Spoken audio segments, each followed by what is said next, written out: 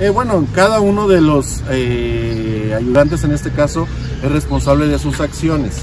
Sin embargo, también los ciudadanos y la ley nos marca eh, cuando hay eh, motivos para poder remover del cargo a cualquiera de los ayudantes municipales electos.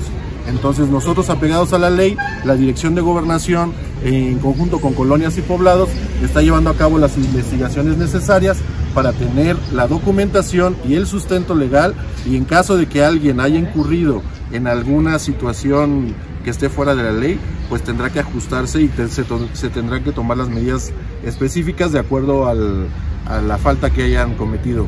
Llámese del ayudante de la colonia Guadalupe Victoria. Sí, pues lo que le pedimos a todos y cada uno es que tengan en su colonia, pues que haya tranquilidad y que la gente se sienta a gusto.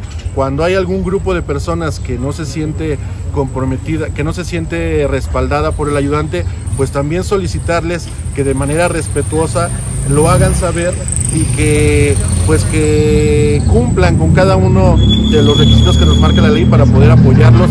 Y si en determinado momento quien puso es la colonia sus representantes. Nadie les impuso ningún ayudante pero ellos mismos pues también tendrían las facultades apegándose a la legalidad para poder remover